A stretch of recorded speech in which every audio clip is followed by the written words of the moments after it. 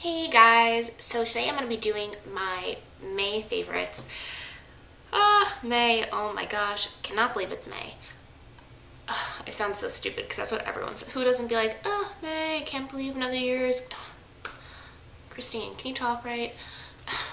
Just ignore me, guys. Okay, anyway. So, May favorites.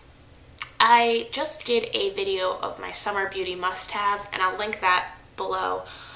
Um, I don't want, I didn't want to have any crossovers because um, the summer beauty must-haves are kind of just the thing, the products I stick to in the summer and the May favorites, like my monthly favorites, are kind of things that I, this month in particular, have really maybe discovered or rediscovered and just really, really love to use. Mm, sorry. Um, but yeah, let's get started. Uh, I guess the first thing everyone looks for in summertime is tanning. And I do lay out in the sun, but I do wear a lot of SPF. So I don't get a lot of color that way, which is good. Um, so I do use uh, the Jergens Natural Glow uh, ones, and these are kind of my favorite of like the gradual self-tanning uh, lotions. I don't use a self, like a regular self tanner because I don't know, I just can't get the hand of it. I am a mess. I get splotchy and I just don't have the patience for it. So I use these and uh, the ones I have here, this one is the old, older one I got, I think last year. And this is the Daily Moisturizer and designed for medium skin tones. Um, if you guys know me, you know that I am paper white. I may be coming across a little bit tanner a little bit normal color in this video, but I might also be washed out, I don't know. Um, because the light is behind me, but when the light shines on me, I am blinding, I swear. Uh, but yeah, so the, I like the one for the medium skin tones, so I use this, and then every once in a while I'll use the, um, this one I got this year is the firming one in the medium to tan skin tones. But I like the ones that are a little bit darker than me because I don't have to use it as often. And I find the lighter one just doesn't really work that well and kind of gets a little splotchy. So I like these two.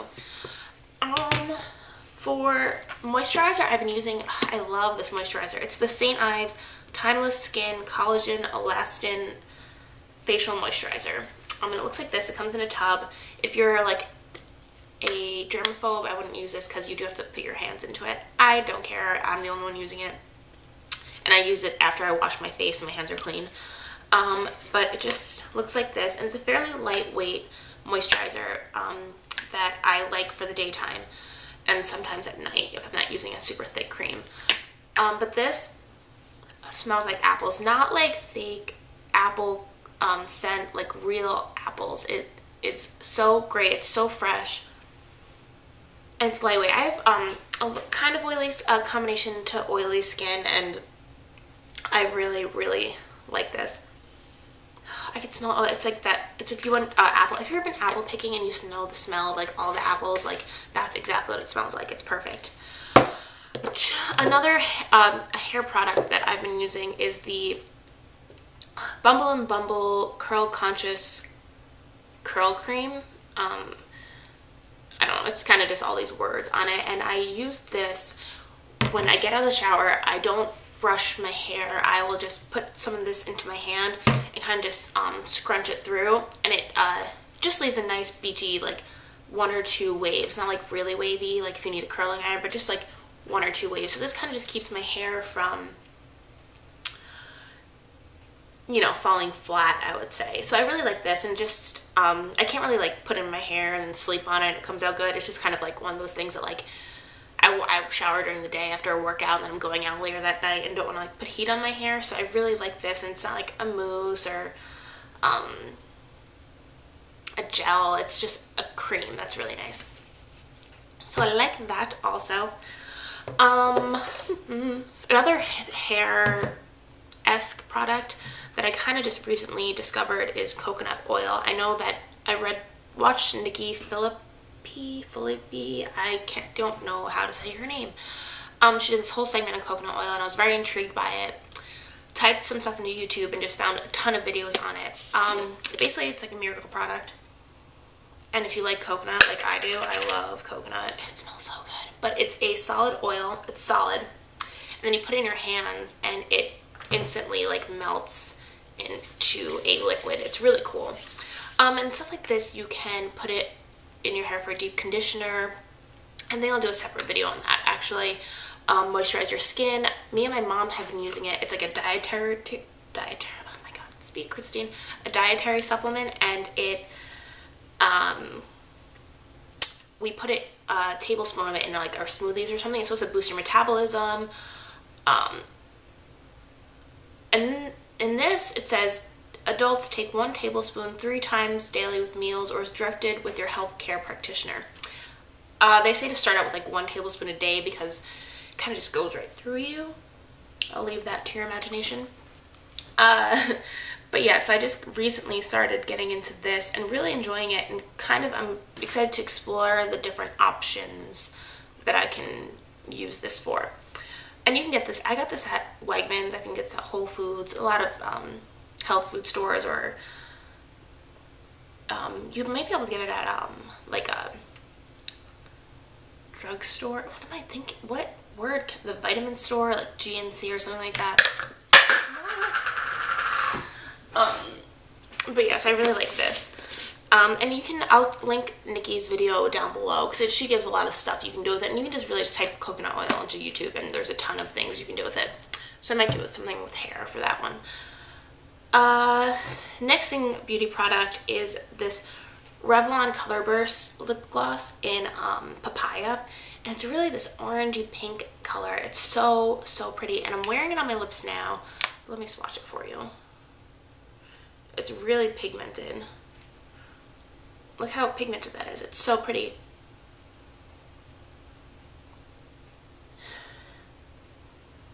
Ooh. It smells really good. Sometimes when I'm like smelling it, like use all my breath and can't breathe. That smells really good. It kind of smells like cake. Um, but yeah, it's really pretty. I really like this. Um, I may, I'm more intrigued by more of these, but for now, I really like this. I kind of want to get this the one in strawberry, but I felt they're kind of similar. But I like this has like an orange tinge to it, which is kind of on trend with like the orange lips type of deal. Um, and that's kind of it for my beauty products, if you will. Um, I have two other things I want to talk about. Um, this is something I had gotten for Christmas. Um, and it, I got it from my mom. She loved these. Um, it's a candle. Um, and this is in Love Spell. It's a dupe for Love Spell from Victoria's Secret, which if you don't know it, it is a kind of grapefruit, a sweet uh, grapefruit uh, kind of smelling candle. It's I, I, I want this in the perfume, in the lotion. I, I never liked this scent until I started burning it. But the cool thing about this candle is that when you burn it, um, you can either pour the wax into your hand or dip your hand in it. You know, if you always, people always do that, they put their finger in it, hardens. But the cool thing with this is that it doesn't harden. You use it as a lotion, a body lotion, and it um, is really moisturizing. My mom likes it because her hands are really dry, so she got one for me and all my sisters, and I really, really like it. And it's not, um, it's a soy candle, so it's not super hot. Um, it doesn't, it's not super strong smelling. So if you don't like very strong smelling candles, which I do, but my mom doesn't, so I can't really burn it in my house. But this is great. I'm obsessed with this. And they come like, they all, my mom has one, it's a different one. It's like a gin, ginseng tea one. And this one, they all have like cute quotes on the back that says, I will show you a love potion without drug or, or, or herb or any witch's spell. If you wish to be love, love and this is from rencandle.com, R-E-N candle.com. Um, they have a another one. It's called Scandal, S-C-A-N-D-L-E, um, com, which I think also has them. I'll link this below because I think you should check them out. They're really cool. The last thing I want to talk about is a book that I just read, and I want to recommend this to absolutely everyone, especially if you read The Hunger Games, because I know I read The Hunger Games, the whole entire series in three days. um, and I was looking for something new that was kind of similar. And this book that I picked up, and I don't have the book with me because I was reading it on my Kindle, and it's called Delirium, and it's by Lauren Oliver, I believe her name is. and basically it's about um, set in the future of the United States, and they live in Maine, I believe they live in. Um, oh my gosh, hold on. Is this like a lip plumping? Because this is burning my skin. Weird. Sorry. Anyway, so they live in a dystopian kind of future where the government has decided that the feeling of love is a disease. It leads to um, like a delirium. It could kill, and it's basically a a disease. And when everyone turns in the society turns 18, they get a surgical procedure where a part of their brain is cut out that creates love. And it surrounds the story surrounds this one girl, and she her mother was her mother committed suicide because she, she the procedure wouldn't work on her. So she was still she loved and like that wasn't allowed. So basically they would come to lock her up. So she killed herself and her daughter who the story surrounds kind of her whole life wanted to get the procedure couldn't wait couldn't wait because she saw what it did to her mom. She went crazy and killed herself you know so they say it's what love does.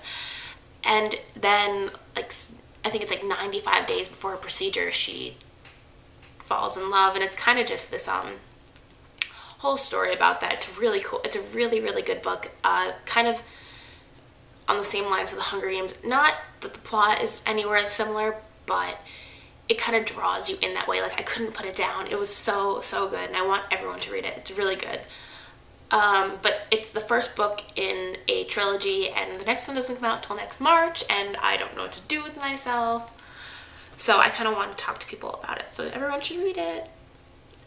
um, so yeah, that's it. I, um, yeah. So if you guys have any favorites, definitely um, let me know and share them with me. If you guys want to see my, so I'm going to link different videos down the bottom. It'll be my summer beauty must-haves will be down there. My, um, the Nikki video about coconut oil, and then I'll do the candle link down too. So hope you guys enjoyed this, and I'll see you guys later. Bye.